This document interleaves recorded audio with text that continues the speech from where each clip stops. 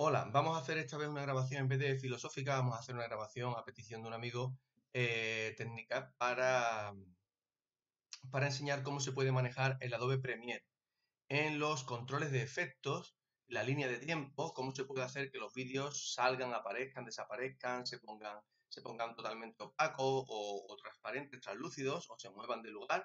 Eso se hace mediante el control de efectos de la línea de tiempo. Así que eh, por una vez vamos a cambiar nuestra, dedicación a hacerlo de una forma mm, tecnológica y no filosófica, ¿vale? Hacer un, vídeo filosófico, eh, filosófico tecnológico, Venga, vamos a aprender a manejar el Premiere y se hace de la siguiente manera. Me quito mi cámara, mi cámara frontal y les enseño cómo se hace. De la siguiente manera, se abre Premiere, por supuesto, Adobe Premiere, versión del 2019 y eh, abrimos un, pues, importamos una serie de, vídeos que yo ya tengo aquí cargados, por ejemplo, el vídeo, los vídeos que se llaman manejo del control de efecto de la línea de tiempo, mover vídeos, desaparecer, etcétera. Y ese es el documento que yo voy a abrir. Como van a ver ahora mismo, aquí aparecerán dos vídeos y si no aparecen dos vídeos, pues los importo yo, sin ningún problema. Eh, vámonos a vídeos. Eh, ¿Dónde lo tenía yo esto? Mi pantalla. No, no, voy a, voy a hacer otra cosa. Voy a, ir para atrás. Abrimos el proyecto. Yo creo que tenía el de prueba de aparecer de la nada. Aquí mismo, este, este lo tenía yo hecho, pero lo voy a, lo voy a eliminar. Vamos a hacer contra efecto, vamos a hacerlo desde aquí, ¿vale? Yo tengo este vídeo, que es el vídeo 1. Vamos a poner aquí en medio para que se vea un poquito mejor. Eh, y en el vídeo 1 lo que tengo es simplemente la grabación de, fija de, mi cuarto de estudio. La grabación fija, no hay nada ahí, ¿vale? En el vídeo 2, si lo traemos aquí a la línea de tiempo, lo que tengo es la misma grabación fija, pero que yo aparezco, me agacho y, me levanto y, hago esta posición. ¿eh? Me quedo en esa. ¿De acuerdo? Bien, pues entonces lo que yo quiero hacer es que aparezca yo del vídeo 1, eh, en el vídeo 1 quiero aparecer yo, como desde aquí abajo, aparecer de la nada. Y para eso primero hay que aprender a manejar, a manejar esto, los controles de efectos. Nos ponemos en la primera, en la primer fotograma, primer fotograma del vídeo. Eh, hay que poner la línea de tiempo ahí, en el primer fotograma del vídeo. Ahí está. Y, marcamos el vídeo. Cuando lo marcamos nos damos cuenta de que aparece aquí el control de efectos. Si estuviera aquí en efectos, estuviera aquí origen sin clip, pues vamos control de efectos. Marcamos el vídeo y automáticamente aparecen todos los efectos de este vídeo. Y la línea de tiempo es esta. Si yo avanzo aquí la línea de tiempo, doy cuenta que también avanza esta línea y también avanza esta línea de aquí. ¿eh? Así que esta es la línea de tiempo y este es el control de efectos. Si controlamos aquí los efectos de este vídeo, podemos hacer con el vídeo lo que queramos. Por ejemplo, en esta posición, que es la posición del segundo, minuto 2, segundo 14, exactamente esta, pues, eh, si, bueno, el minuto 2, segundo 14 está aquí en este punto, en este punto de la línea de tiempo, exactamente queremos, por ejemplo, que este, este vídeo esté completamente opaco, o sea, oscuro. Entonces, como aquí ya está marcado este, le disminuimos la oscuridad aquí a cero. Pulsamos aquí hacia la izquierda cero, hacia la derecha 100, hacia la izquierda cero. Ya le hemos puesto a cero. Y vemos que aquí ha aparecido una marquita. Esta marca es un fotograma clave. A partir de ese fotograma, el vídeo está en cero. Si ahora le diéramos al play, estaría todo el rato. ¿Vale? Sin embargo, se graban. Sin embargo, si nosotros queremos que a partir de este fotograma empiece a aparecer y a, ser cada vez más visible, le damos hacia adelante decimos, por ejemplo, en este punto queremos que sea visible. Entonces, en este punto le damos a este circulito que es agregar un fotograma clave y aquí le ponemos que esté a 100. Entonces, eso significará que desde este punto, que está a 0, hasta este punto, que está a 100, se va a ir ampliando la claridad. Así que si le damos a play, empezará a aparecer. Se graban unos cuantos segundos. Aquí aparece este sonido que lo voy a, poner en mute porque no me interesa. No solamente quiero que aparezca de 0 a 100, aparezca de negro a, lúcido, sino que además quiero que la posición pase de la posición que tiene ahora, perdón, que aparezca como desde más, desde más arriba hacia más abajo. Para eso le voy a poner, eh, el, por ejemplo, en la escala lo vamos a disminuir. claro, si le pongo esto así, ahora mismo no, voy a ponerle esto a 100 para verlo y después le vuelvo a poner a 0. Si no, no veo lo que hago. Lo de la opacidad lo, dejaremos para el final.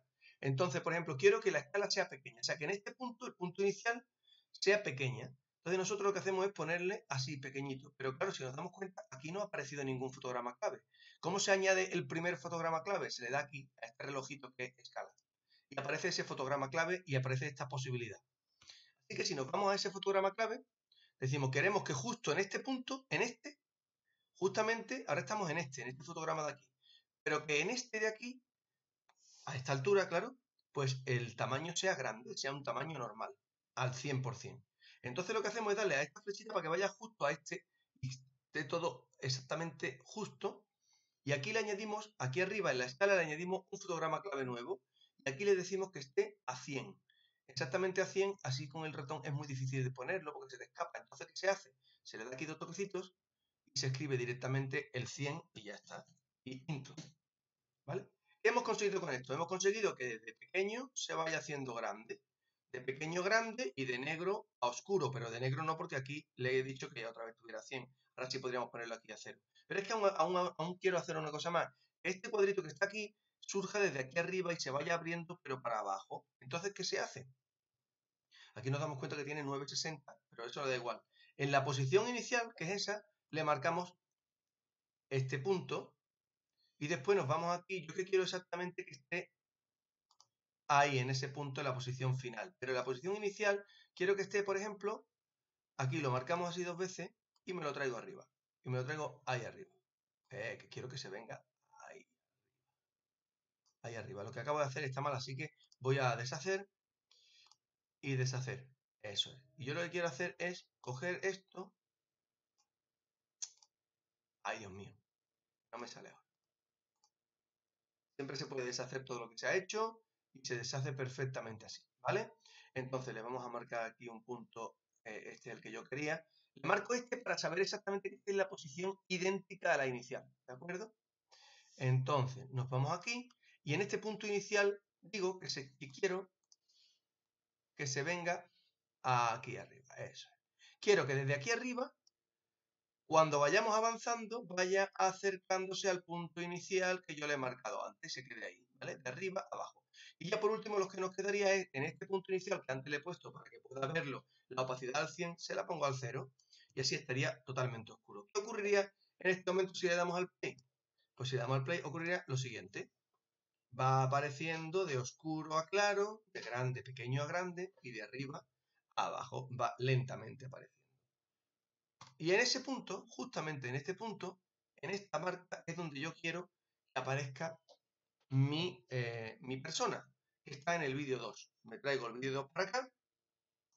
Y como está arriba, es cuando se ve. Perfectamente aquí es donde se ve que estoy yo así tumbado.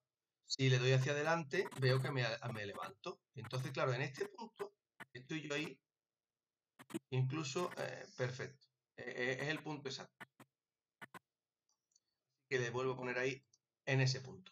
Bueno, pues yo este vídeo ahora lo marco y todas estas controles de efectos ya no son del vídeo anterior. Si le doy, veis cómo cambia ahí y aquí. Estos son de mi vídeo nuevo. Así que yo lo que voy a hacer es marcar aquí un punto, una posición aquí, en el que el vídeo va a estar de eh, eh, la posición, no, perdón, este, este me he equivocado. Aceptar. Eh, la opacidad. La opacidad la vamos a poner en este punto a cero. Y desde el principio hasta aquí va a estar a cero. ¿Veis? Está a 0, 0, 0, 0, 0, 0. Hasta ahí a cero. Pero a partir de aquí quiero que la persona, aquí le marco un punto, aquí la opacidad esté al 100% y entonces esté yo ahí. ¿Vale? Así lo que consigo es que vaya desapareciendo la imagen, va desapareciendo y apareciendo. De este punto a este punto. Y cuando le damos para atrás, nos damos cuenta que aparece todo lo que Se graba otro vídeo exactamente igual cuando yo aparezco de aquí. Ponemos el mute Ahí. Y ahora aparece la persona desde ahí. Y sin más, esto es eh, el, vídeo. Ahora podríamos recortar perfectamente esto para que ese sea el último fotograma. Eh, y podríamos hacerlo así y ya está, nada, más. Y vemos el, el final total, así, ahí va. Y de nuevo podemos ver cómo desde la esquina va apareciendo y cuando se pone en el centro es cuando aparecerá la imagen de abajo que va apareciendo fantasmagóricamente y poniéndose así. ¿De acuerdo? Ea, pues sin más, esto ha sido todo. Espero que les sirva para aprender un poco mejor el manejo del de, Premiere y que, y que con esto se puedan hacer vídeos de YouTube, que es lo que yo hago para explicar la filosofía. Venga, un saludo, hasta luego.